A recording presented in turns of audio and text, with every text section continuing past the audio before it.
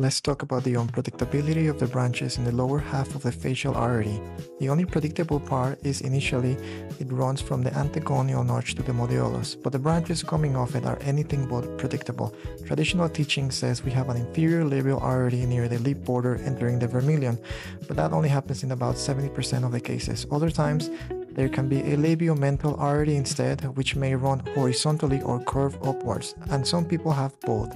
The inferior labial artery can also come from a common trunk above the modiolus, and in some patients, the lower lip is supplied mainly by mental or submental arteries, and all of these variants have different levels of anastomosis. In my own case, I have an unusual bilateral variant where my facial artery branches very proximally, creating two parallel branches along the side of my DAO.